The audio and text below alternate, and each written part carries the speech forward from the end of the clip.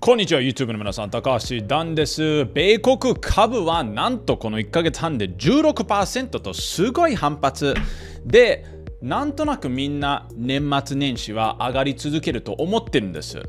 だけど、今ちょっと僕は実は危険だと思います。さまざまなテクニカルインディケーターを見ると今は課題評価が見える世論調査もすごく強欲に見えるセンチメント指数もそうであります。今はとても高いです。なのでちょっとここは米国株は年末年始気をつけた方がいいと思います。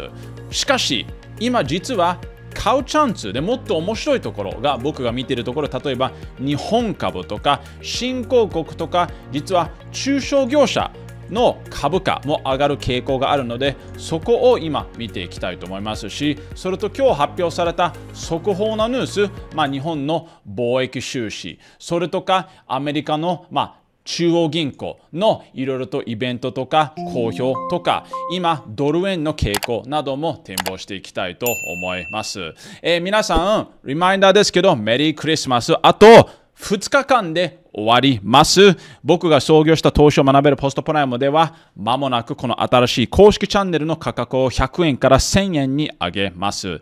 値上げ前に無料体験すればクリスマスセールでこの超安い価格を維持して登録できるラストチャンスで概要欄のリンクで無料体験してみてください。実はあの概要欄の方を見てみると6つこの公式チャンネルがありますので YouTube の概要欄この6つのチャンネルを見てください。僕も時々ここは出演をしています。値上げ前に無料体験すれば今の超安い価格が全部維持できるので無料体験全部6つ数百円だけなのでやるべきだと僕は思います。あともし興味あれば僕のポストプライムチャンネルでは YouTube で話してない一番好きなチャートと分析を話してます。で特に今週は大当たりだったのがパラジアム26%です。たった数日間です。先週はシルバーが8%、その前の週は実は砂糖が15%です。実は今週は今天然ガスも3%当たってます。こういう特殊な分析は YouTube ではなくポストプライムだけなので、ぜひ概要欄のリンクで無料体験をウェブサイトですると一番割引でお得なので、ぜひガールの方で検討してください。だいたいここ、今、米国相場は楽観ムードだと思いますね。もうすぐクリスマス、もうすぐ、まあ、ここはもうどんどんどんどんホリデーシーズンで相場が上がる。S&P500 は10月末から16%と上がっている。理由としては大体みんなこの同じ歴史を分かっているんです。みんな知ってると思います。例えば1928年から見ると平均的に毎月のまあ、ここの上限率、上昇率を見ると、12月と1月は平均的に約2.5から3%上がる、まあ、強い季節的な時期なんですね。はい。しかも12月だけで見ると1950年からは S&P500 は74%の可能性で上昇をしています。なので今いろんな人たちがここのちょっと季節要因で年末までどんどんどんどん株を買いまくってる。しかし、ちょっとテクニカルは危ないシグナルがいくつかあると思います。まず S&P500 をこの右のチャートで見ると、この真ん中の部分が percentage of new three-month highs。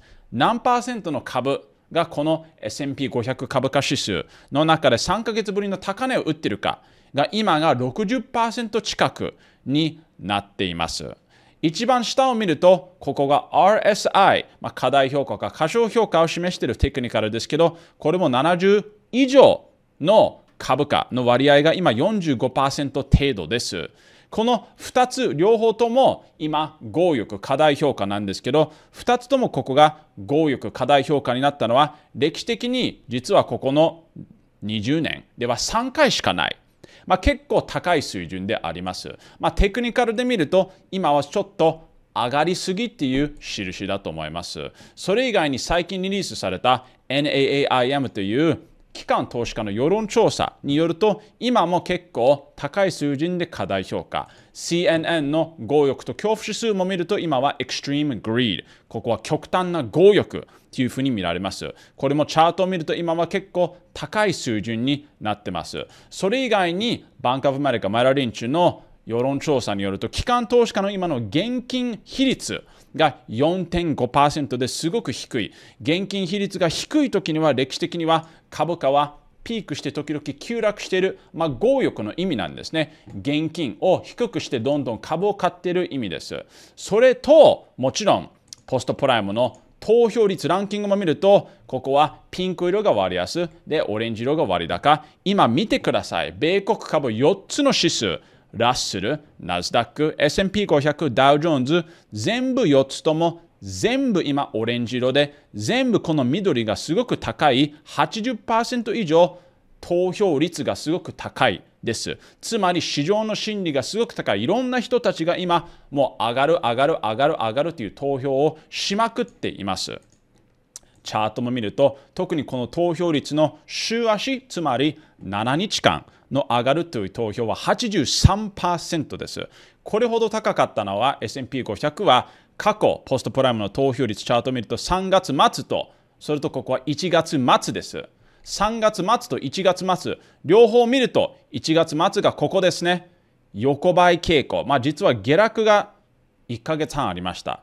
で、3月末を見ると横ばいが実は2ヶ月ぐらいありました。まあなので今見ていて暴落が起きるとはわからない。しかし上昇トレンドが今の勢いが続くのは難しいというふうに解釈はしていいと思います。下落するかもそれとも横ばいになる可能性はここの数週間あり得るというのは頭の隅の中に入れてもいいかもしれません。さてと、では、じゃあ、どこ、僕を、どこ、どこを見ているのか、僕は、ね、今見ていて、投票率が逆に低いところを見てます。今、例えば、今低いのは中国が一つですね。ここすごく今低いです。あとはトピックスも低いですね。えー、まあ、そこの方を見ていてあの僕は今あここはもしかして面白いかもというふうに株の世界では見ています。中国の投票率は7日間で27%、30日間ではたった26%。今超低いです。市場の心理が低いです。トピックス指数も見ると実は7日間ではたった35%で30日間では48ですね。まあ中国ほど低くないけど、日本株も面白いかもしれないです。皆さん、市場の心理が低い時に買う、高い時に売る、これ本当にすごく重要です。ほぼほとんどの投資家は世界でやり方が間違っていると思います。右のチャート見てください。イェール大学の調査によると、毎月積み立て投資する場合が黒い線、下がった時に買った場合が赤い線。で、下がった時だけに買った場合の赤い線の方が明らかの方に資産が上がります。これがもうウォーレン・バフェットのスタイルです。で、ポストプライムのこの投票率という機能で、ここの投票率が低い時に買った場合と高い時に売った場合はほとんど銘柄当たってます。しかもこの通知ツールを使うと割安チャンス、割高チャンス。良い時にポストプライムが通知をあなたのパソコンと携帯アプリに教えてくれます。それと、様々な銘柄のランキングも見えます。割安はピンク、割高はオレンジ色です。で、全部この機能の使い方は、僕のポストプライムチャンネルの2番目の固定投稿の3分55秒から説明してます。全部これはメンバーシップで使える。メンバーシップは28%割引すべてチャンネルでもらえる。それと新しい新機能も来週発表するので、特にプラチナ、ゴールドメンバーシップ無料体験、僕のおすすめです。ガーラの方であなたの資産も増えると思います。もう一つ面白いのは、small caps、中小企業。ここがちょっと面白いと思いました。米国株は確かに今、過大評価なんだけれど、ここだけがちょっと面白い。This chart here is 特にラッセル2000とラッセル1000を比べた比率をなんと40年間で見たチャートです。ラッセル2000っていうのは中小企業、ラッセル1000っていうのは大手企業。今、中小企業が明らかに大手企業より長期的にチャートで見るとすごく割安です。しかも、ラッセル指数、まあ、ラッセル2000指数ですね、中小企業を見ると、12月の最後に上がる可能性を、ここは細かく見ると、特にクリスマスの前の数日間は74%で上がる。他の S&P500 とかダウジョーンズより若干少しだけ上がる可能性が高いことも見えます。なので僕はここが実は面白いと思ってます。もう一つ面白いと思うのは、まあ、もちろん今は僕はポートフォリオとしては今すごく債券などもすでに投資をしてますね。ここの赤い部分。アメリカの2年国債は特に中央銀行が利下げに転じるこの転換の時には必ず過去には上がってます。今は債券に対しての買いがやっと始まりました。やっとここはもう毎週出てるバンクオブアメリカの世論調査によると、 bonds、ここがすごい増えましたね。初めてです。It's a good time to buy bonds. やっとここが今熱くなってきましたね。で、マンスリーチャートも月足で出てきました。債券は大好きだよ。だけど、債券結構上がってるので、実はもっと今好きなのは、まだ今、この時期、12月末では僕は今、コモディティが今一番実は割安だと思ってます。まあ、簡単に言うと今、コモディティはすごく今、過小評価されている。これも新しいチャートですけれど、バンクオブアメリカの世論調査によると、ポートフォリオのコモディティのアンダーウェイト、つまりポートフォリオの割合が今歴史的にすごく低い数字になっています。で、しかもコモルティはもちろん皆さん知ってる通りアメリカドルと逆に動く。で、アメリカドルのここのポジション、投機筋も見ると、やっとここが今、ネガティブになり始めた。まあ、つまり、ヘッジファンドのフォーキャスト、これゴールマンが一応出したヘッジファンドの投機筋なんですけど、やっとここが売り出したので、これからどんどんどんどんアメリカドルは下がると思います。ということはコモディティは上がると思います。で、コモディティも今70年ぶりの割安ですね、米国株と比べて。で、重要なのは、今、今月安いんです。米国株とか今ちょっと高いと思います。だけどコモディティは低いんですよ。投票率を見ると砂糖が23%です。天然ガスが38%です。豚肉、生牛も40%。ここはもう全然別世界みたいに安いんですね。もちろん高いコモディティもありますね。例えば今超人気な銅とかコットンとかプラチナとかは投票率が高い。だけど低いものもあるんです。でここは投票率が低くてここの5年間のチャートを見て一番番まだ上がってない。まあ、つまり一番まだ上がる余地があるのは僕から見るとまだパラジアム、豚肉、天然ガス、まあ、それとトウモロコシかなと思いますので僕は今月米国株は今月無視してこういう今は割安なコモディティをピックアップに行くと思っています。こういうコモディティ、債券、僕がすべて全部取引しているものは IG 証券で取引できます。今日のスポンサーです。すでに口座を持っていてもあなた、ご家族、友達も概要欄のリンクで新しい口座開設すると3000円もらえます。新しい身分証明書、新しいメールアドレスを使えば別の口座開設ができます。3000コインは3000円と同じ価値で完璧に無料数分間で終わるので概要欄のリンクで追加の口座開設も検討してください。え特に IG では日本国債、米国債、今日話していたシカゴ、生牛とか、それとか豚肉とか、天然ガスとか、ウランとか、パラジウム、ブラジルとか、香港とか、それとか、ウィーケンド指数など、こういう特殊なところが全部取引できるので、ガールのリンクで口座開設検討してください。IG 以外にコモディティ商品がは GMO クリック、それとガイタメ XGMO もコモディティで使ってますしえ、ビットコインや暗号資産はマネーパートナーズを使ってるので、それぞれもガールの方にリンクあります。まあ、ここ実は今日のニュースも少し展望していきたいです。なぜかというと今、日本株が結構今日強く上昇していて、円安も傾向がありますので、そこも今日展望したいです。まあ、ダウジョーンズ見ていると、ここ滑らかな上昇トレンドですね。なんか正直言ってすごく強いわけではない。だけど、滑らかな、まあ、0.6%ぐらいの上昇が今続いているというふうに見えます。えー、あのヨーロッパも見るとすごい滑らかな上昇ですね。0.3%。で、今日は日経平均が強い。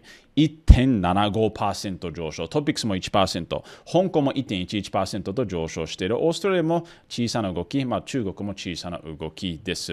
今日のヒットワードをポストプライムで見る。これこれが AI がピックアップしたすべての投稿のヒットワード。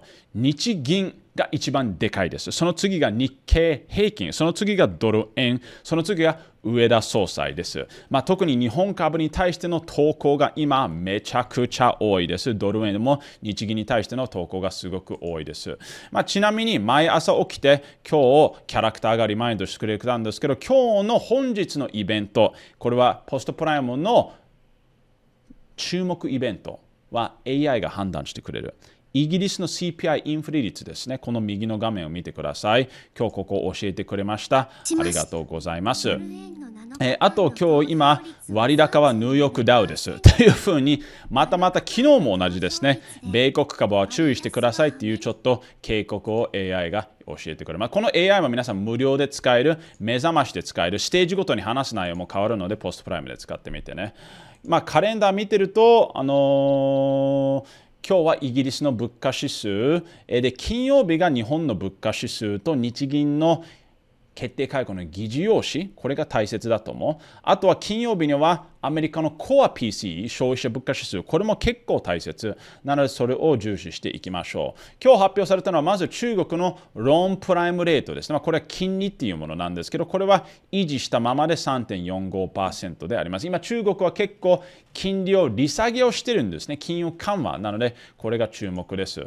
アメリカニュースの方ではアトランタ連銀総裁が来年早期に利上げする緊急性は今想定していないということ。これが結構問題で元、まあ、今、ピンコの、えー、ボス、えー、この人、エル・アリアンスという方が、一応今は中央銀行は非常にコミュニケーション問題があると言ってます。もう今は相場が来年6回の利利下げを期待をしている。これはもう期待感を高めすぎている。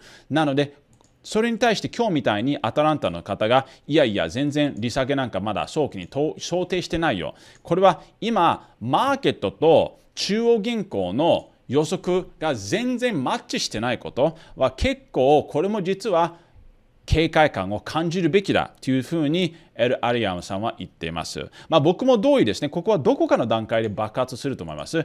今、中央銀行の利下は6回ぐらいと今、織り込みをデリビティブル相場でされているので本当に6回起きるとはちょっと僕はそこは疑問に感じています。あとはあのトランプ元大統領は今回の大統領選来年は出馬はしていけないとコロラドの一応裁判所が一応、えーとまあ、今日発表しました。だけどここをまたまた控訴するだと思いますのでまだ決まってはないと思います。多分トランプ大統領まだ僕は出ると思います。